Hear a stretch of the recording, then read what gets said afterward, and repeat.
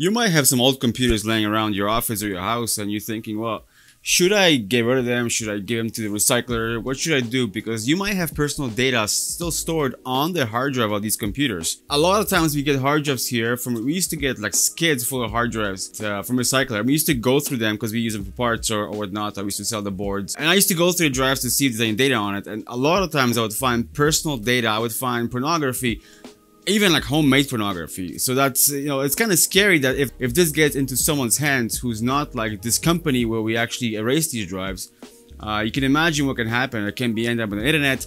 We had drives with, with uh, from governments, not encrypted, data wasn't wiped. So you gotta think about these things. So I got some computers that came in uh, for wiping, and this is just normal standard hard drives. Uh, we're gonna pull them out. I'm gonna wipe them. I'm gonna show you a few methods of wiping hard drives. Uh, they're all going to be free free options. I'm not going to go through all, all the uh, different wiping tools. There's just way too many. But I'm going to show you the ones that we use here that we um, that we trust and they, they do a good job. If you're new here, consider subscribing. I have a lot of different content on this channel. Uh, make sure you share and like the videos and drop a comment. It definitely helps the channel. Anyways, enough with the talking. Let's get the drives out from these computers and start wiping them. And I want to show you the tools that we use that we trust for wiping.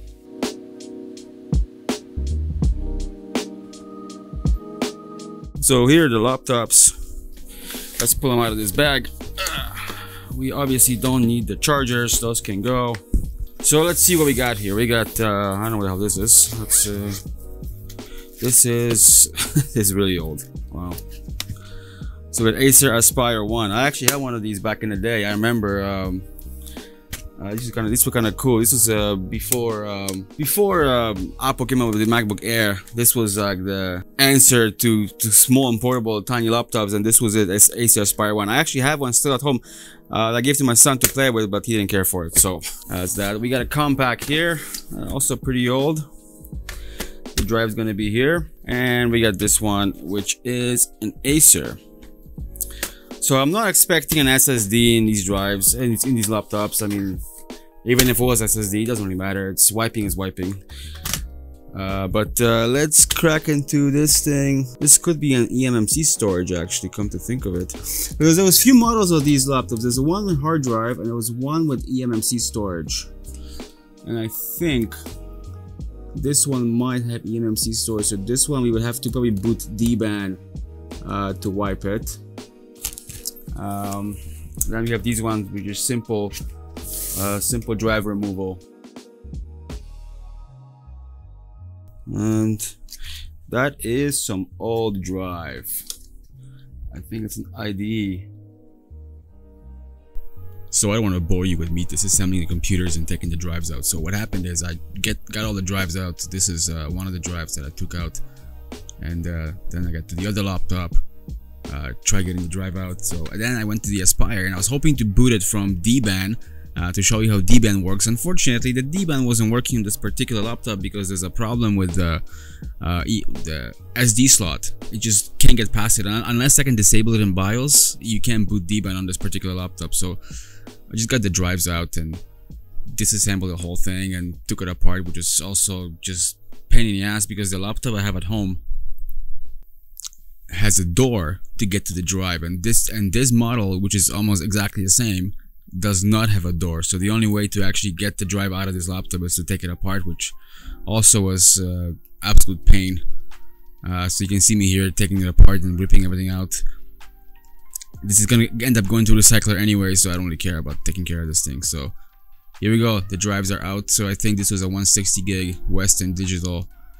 And then we also had a 640 Western Digital SATA and then third drive which was an 80 gig IDE drive two and a half inch. So there are the drives. So they're all out. And now I'm gonna take them over to my workstation and we're gonna start wiping them. Okay so I moved over to one of my workstations. Uh, I plugged the drive into a SATA port uh, on this Windows machine and we're gonna use active kill disk now I'm not in any way shape or form uh, trying to sell you active kill disk or anything. I'm they're not sponsoring me. It's just just so happened that I'm using Active Kill Disk. I don't really like using that. I prefer using Linux and I'm going to show you the Linux portion after the Windows portion. So just a few words. I, am sure some of you heard that you gotta wipe the drive seven times or eight times and all that stuff. Absolutely unnecessary. All you gotta do is wipe the drive once. That's all you gotta do. one single wipe will write to all the sectors, will write zeros or whatever pattern you like.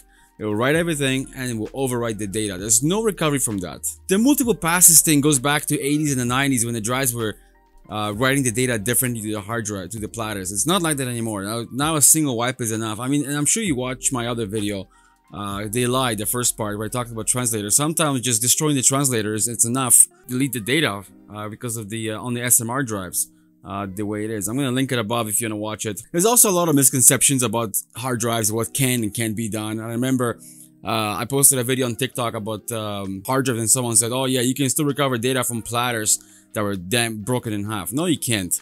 I know there's some government agencies that shred their drives and then hold the, the pieces in storage for some strange reason. They think uh, maybe someday someone's gonna get to it. It's not gonna be recoverable. I, I even had, I saw a comment. Someone said that uh, that they sent out um, pieces of a hard drive with, with platters shattered and they were still recovered. Not possible. It's all BS. It's just people talking BS. They don't know what they're talking about. So that's the thing. Another thing is, if you wiping SSDs, single pass is enough. I know there's unused memory pages and there's some data left behind there. But your average Joe, but even people who are in this industry, they won't be able to get to these active pages. Even if you do, most SSDs are encrypted anyway. So what are you gonna get? Just scrambled data from an unused page? I mean, if you want to be sure, you can really just wipe the drive two times if you want, but it's pointless. Just enable encryption on the SSD and then wipe the drive and data's gone. That's pretty much it. And we're gonna verify the wiping after we're done. So I actually moved the uh, 80 gig SSD uh, from the Linux machine. I brought it over here. So the 80 gig SSD is on this machine. Uh, and also the 160 gig uh, SATA drive is back there on Linux. We're gonna wipe that one with Linux. So let's jump into the computer now, and I'm gonna show you uh, the way to wipe it with using on Windows Active Kill Disk. So we see here the drive is um, shown up. This is the 80 gig one. So all we gotta do click now is erase disk. So you're gonna click erase disk, and of course single pass more than enough. There's no need to choose any of these ones. Multiple 50 million 35 passes. It's absolutely pointless. It's a waste of time. Just like the destruction of drive is also a waste of resources and uh, the drives could be repurposed for something else unless they reload them, uh, whatever. So we're gonna do single pass with zeros. Uh, we can also verify it if you want. Um, you can initialize the disk when it's done. Uh, we can also write a fingerprint to, uh, to the first sector, so you can write like, uh, and then we're gonna go hit start. You can even do certificates here if you want, but all you gotta do is hit start. And make sure you, make sure you select the right disk because you will wipe if you wipe your system drive. I'm not gonna be responsible for that. So you're gonna type in erase all data. Okay. So I gotta verify disk 9. This is the 80 gig uh, IDE drive. Gonna hit OK. And now you can see, but the light here is in progress. So it is wiping the drive. When it's done, uh, we're gonna open the drive in R-Studio. We're gonna look at the sectors. I'm gonna show you there's nothing to be recovered from that drive because single wipe is more than enough. So while that's going, let's jump over to my uh, Linux machine here. So uh, we're in a Linux machine here. So we see the 160s plugged in. This is the way I like to wipe drives because it's easy, easy, simple. There's no software you need to buy, any of that stuff. It's already part of your system. It's, there's no need to install anything. It's all, all you got to do is type in dd and we go input file slash dev slash uh, you can see the 160 slash dev slash sdj. No, I'm wrong. This is uh, if I was imaging the drive. So we go slash dev slash and here is you can decide what you want. Whether you want to write zeros or you want to write random characters to drive. We're gonna do zero. So you're gonna slash dev slash zero. Zero i can type output file equals dev slash sdj and now if i'm gonna hit enter it's gonna ask for the root permission. So we're just gonna go back here.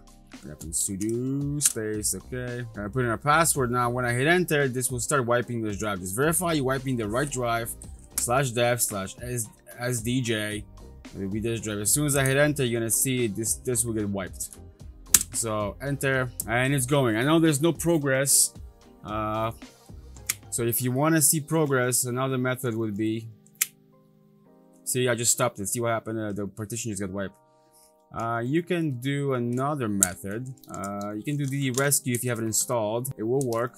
Uh, in DD rescue, there's no if equals. You don't have to use any of that signs you can just type in uh, this and you hit enter and that's gonna give you progress of what it's doing so what it's doing is taking slash the, the slash dev slash zero and it's writing all zeros into the drive so Uh, good thing about DD Rescue is you can see the progress. You can also show progress in DD. I just didn't feel like going to the command prompt, uh, but it's doable.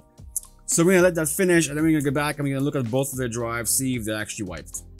So the wiping is finished. As we can see, the 80 gig is done. Uh, you can look at the log, you can look at the attributes and the overview.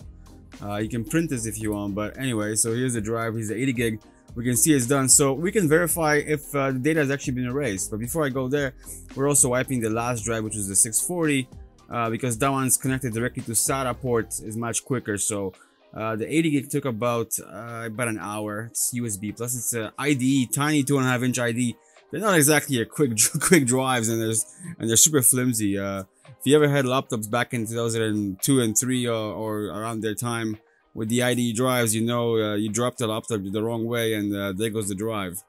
Uh, I've seen a lot of those fail. even even if you just shake the laptop too much, um, it, it will screw up the, the hard drive. So really bad drives back in the day. They're a bit better now. I mean, the SSDs, that's a whole different thing. Uh, those things can shake. Uh, if you're not too rough with them, nothing, there's no moving parts, nothing will break. So I guess we should verify the drive. So uh, we're gonna open R-Studio. Then what we're gonna do is we're gonna view the actual sectors. So you're gonna go right to the drive and we're gonna view it. As you can see, it's all zeros because the software has written zeros. You can see there's nothing here completely empty. So the drive's been properly erased. There's nothing to recover here. We can run any recovery software you want on this drive and we'll get nothing. I mean, I can really, I can start a scan and you'll see there'll, there'll be nothing. Let's hit a scan here. Uh, you'll see that it won't find anything it's because the drive's been erased. That's why, that's what I was trying to say. There's absolutely no point running six, seven, eight, even two passes. Pointless. Absolutely pointless. It's a waste of time. Um, you can see it's moving along. It won't find anything because there's nothing there. You, can, saw the, the sectors, which is zeros. As you can see, nothing was found. So that's the one drive. Now uh, we also have the one in Linux. So that one's also done. So it's finished. Uh, actually, uh, it, it, errors out at the end. And the reason for that is because uh, the, the, the block device slash dev SDJ is finished. There's nothing else to write. So uh, slash dev zero errors out because of that. Uh, so you can see there's nothing found and we can open um, hexedit SDJ. Oh, forgot.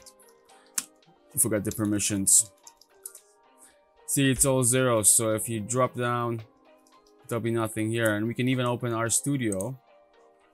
And here's the 160. We can uh, view it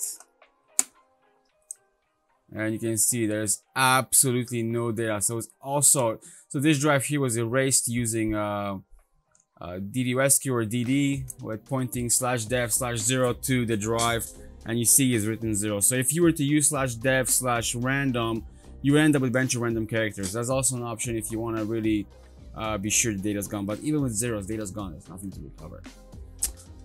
So that's gonna be it uh, for this video. Like i said ssd it's the same idea. It's a, it's a little bit fear mongering talking about uh, if you do a secure erase on ssd you can still get some data. It's highly unlikely. I mean it's it's theoretically possible but it's no one's gonna be going to those extents. I mean like i said not gonna happen.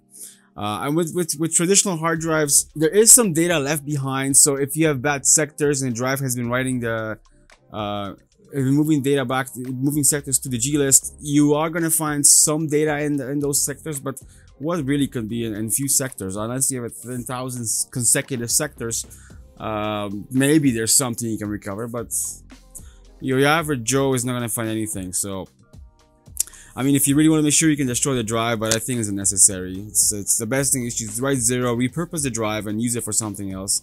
Uh, I just hate seeing things going to waste like that.